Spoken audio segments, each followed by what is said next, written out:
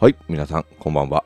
山女と申します。なんやかんやと、久しぶりのね、部屋撮りをしてるわけでございますけど、いやー、早いものでですね、今年はね、なんか全然生放送もできねえな、なかなか部屋撮りできねえな、外撮りのやつをね、回すので、いっぱいいっぱいになっておったりとかね、ショート動画をね、1日4本投稿して、なんか1日5本投稿とかね、やつとか、なんか1日108本動画投稿とかね、なんかわけのわからんことをね、っておったらですね、えーなんかとんでもないね、間、全然部屋撮りがね、できてないかったり、生放送ができてなかったりするわけでございますけど、そんな中ですね、やってきましたよ、この、えーうちがね、この年末にこの価格で始める企画、そう、クリスマスケーキおせちカタログ徹底調査ですね。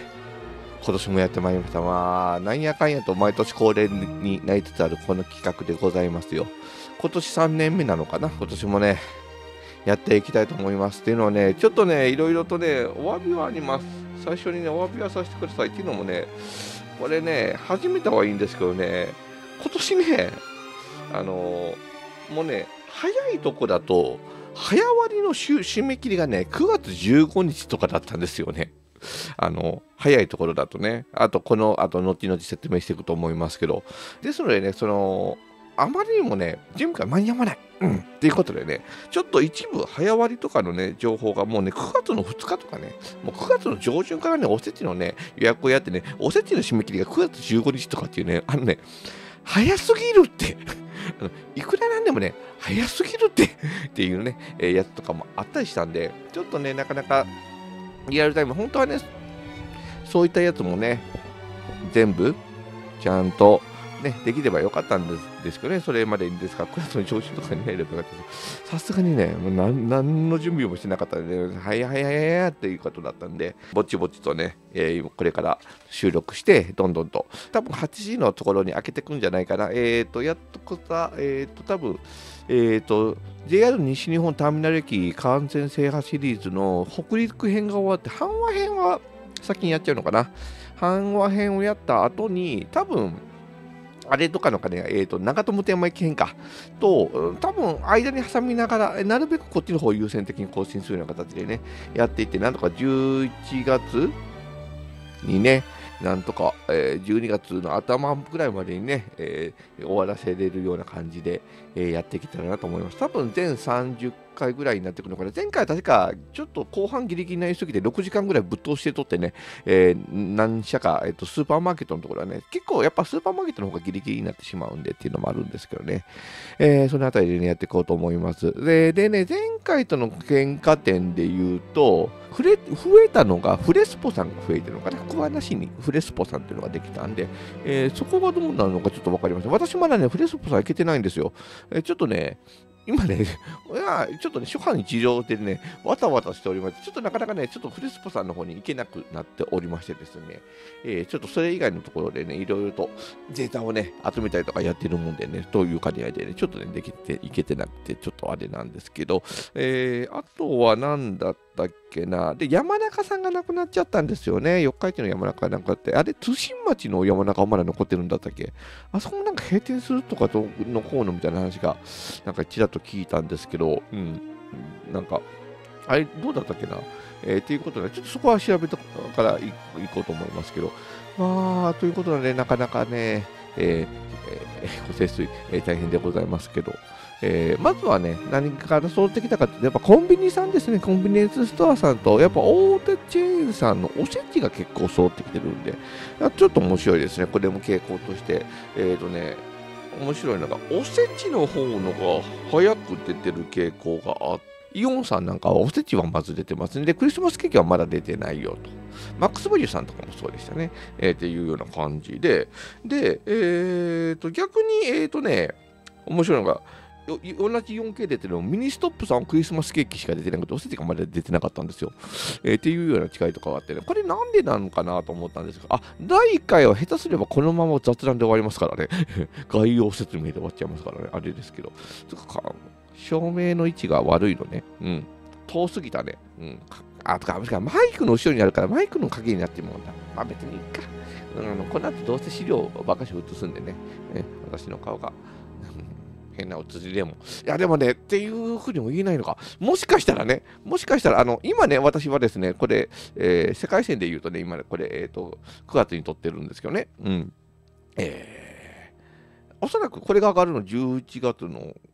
2日とか3日とかになってくるのかなっていうことなんですけど、これもしかしたらね、もしかしたらなんですけど、今私はね、これね、どうせ再生数ね、えー、2桁いくかいかないかくらい、10再生いくかないかないかなぐらいだろうな。100再生はいくことないだろうなっていうね、テンションにとってるんですけど、もしかしたらね、もしかしたらすごいことになってるかもしれませんからね、この11月の間に何があるのかね、ままだね、あのーその言えないですけど、何かがあるかもしれませんからね。っていうことでね。あでも、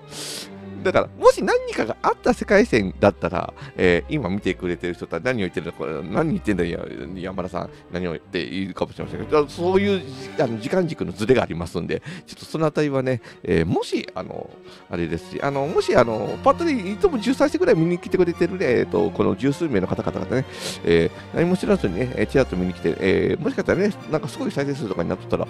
何があったんやってね、ところなんですけど、そのあたりはね、ちょっと、あの、もし何かがあったときには、の、X が、えっ、ー、と、YouTube でも多分何かしら触れると思いますんでね、そのあたりをチェックしていただければいいかなと思うんですけど、まあ、傾向として面白かったのは、えっ、ー、と、今回の、あの、おせちと、えっ、ー、と、クリスマスケーキの話に戻しますけどね、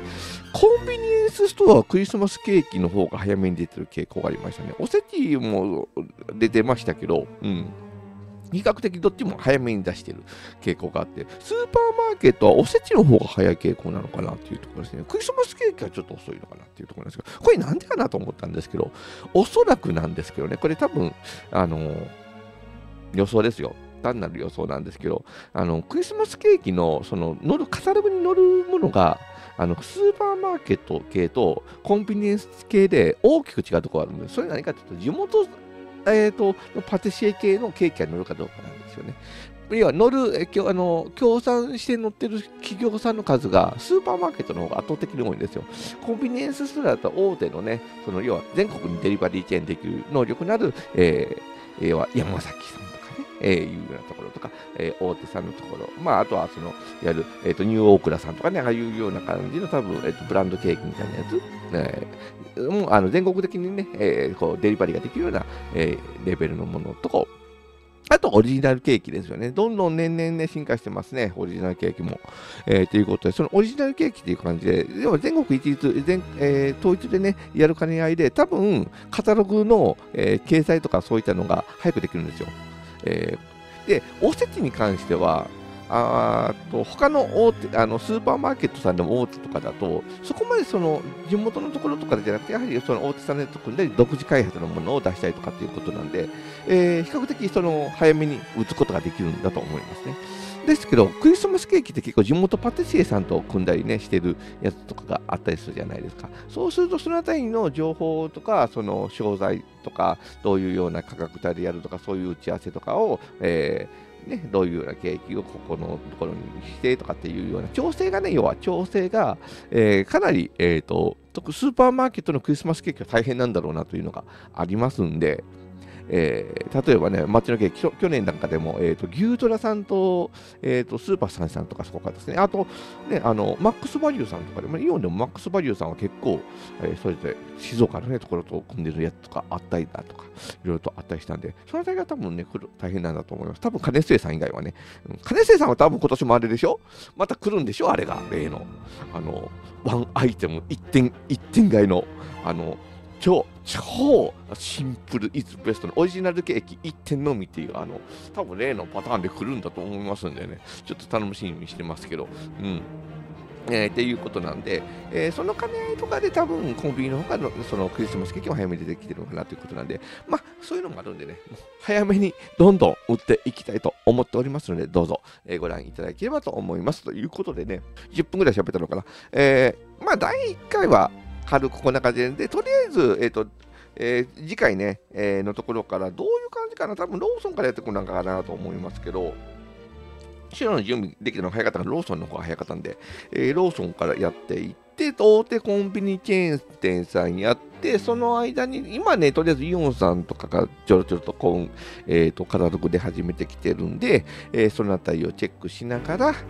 え、やっていく形になるんかなと。思いますので、今後、えー、これからね、多分どんどん公開されていく。えっ、ー、とね、多分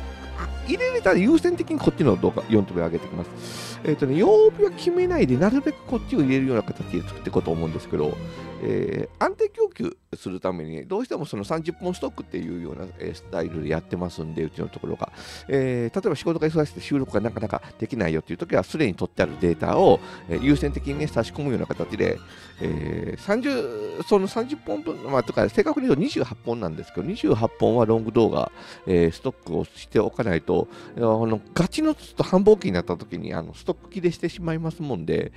うん、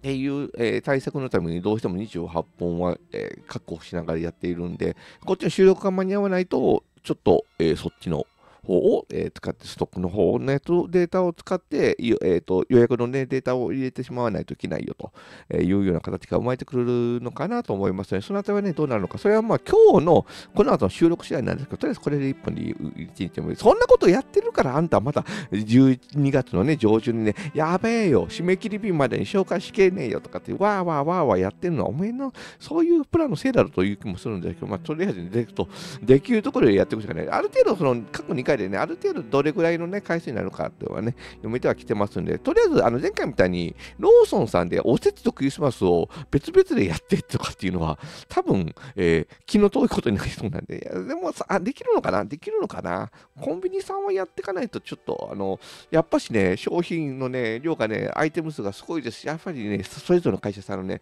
この間とかも見えてくるんで、その間とかもね、しっかりと話していきたいなと思いますのでね、えー、また今後もね、えー、ここのシリーズ、えー、ちょっと不適になりますけど、えー、と、なるべくちょっと X とかでもね、えー、情報のね、更新というか、どうなんだろう、あの、ちょっとこれまたコメント欄で教えてほしいんですけど、X の更新と、えー、と、YouTube の、えー、っと、コメント、コメントっていうかなんていうのかな、なんか、あの、あるじゃないですか、あの、文字情報が、あの、で、あの、送られてくるやつあるじゃないですか。あれとどっちの方のがね、見やすいのかなと思いながらね、あの、両方更新しろっていう話なんですけど、なかなかリアルタイムでうまいこと更新がね、難しいっていうのがありましてね、えー、ちょっとどうしたものかなというところでね、うん、迷っておるところなんですけど、そのあたりもね、アイデアいただき、あの、もしコメント欄とかでね、アイデアありましたら、あの、あ、うちはこっちの方が見やすい。X でやっぱやってもらった方のが、えー、いいですよ。そんな別に、あの、X だったらね、夜中に入ってもどうせ、その通知で、なんか、お子さんとかないんでとかっていう方もいるかもしれないし、もしかしたらね、ちょっと通知オンにしてる方でね、いや、あの、夜中の2 3時とか4時にね、あの、送られてきても、あの、迷惑なんでっていう方もね、いらっしゃると思うんでね、そこが難しいんだよね、ということを思っとったらね、なんやかんやと600人もね、今今ね、段階で、えっと、660、あ、670になったんだ。えー、ということで、そう、666でね、一回なんかやろうかなと思ってたんですけど、呪いの数字を払わないと、そして777を目指すみたいなことをね、言ってなんか取ろうかなと思ってたら、もう あっという間の1日でね、1日も経たずにね、あっという間に、え、超えていってくれた。らありがたいんですけどね、うん、本当増えてくれるのは非常にありがたいんでね、再生数もね、今何やかんや増えて、月4週アベレージ6万とかね、いくくらいにはなってきてますんでね、まあ、主にショートなんですけど、まあ、あの9割9分クリーン、あの、ショートなんですけど、うん。えー、っていう感じです。ございますね。ちょっとロング動画もね、こんな感じでどんどんと部屋取りもね、増やしてね、やっていきたいなと、あの、これ以降もね、ちょっと増やしていきたいなと思ってますんで、これとりあえずね、おせち、えー、クリスマスが来て、そしてまた、えー、ちょっとカンパートも入れずにね、えー、恵方巻きが始まってくると思いますので、しばらくまた、え、この映像をね、えー、お届けすることになると思いますのでね、どうぞよろしくお願いいたします。ということで、えー、次回はいつなのか、明日の更新にこれが入っているのかどうか分かりませんけど、どうぞよろしくお願いいたします。ということで、ね、本当はね、これをね、バーッとね、12月までにね、このシリーズを終わらせて、年末年始のところに、あの、長友手山のね、メインのところ、長友手山駅にね、行く前後あたりのところを持ってこれたらいいなと思ってるんで、うまいことできたらなぁ。いいんですけどね。えー、そのあたり、気当たりばったりでね、常にやってますんでね、なんとかやっていきたいなと思います。ということでね、ひとまず今回はイントロダクションという形でさせてもらって、で、えー、次回からね、えー、カタログの方、いろいろと見ていきたいなと思っておりますので、どうぞよろしくお願いいたします。ということで、この動画はね、これぐらいで締めさせていただこうと思います。結局、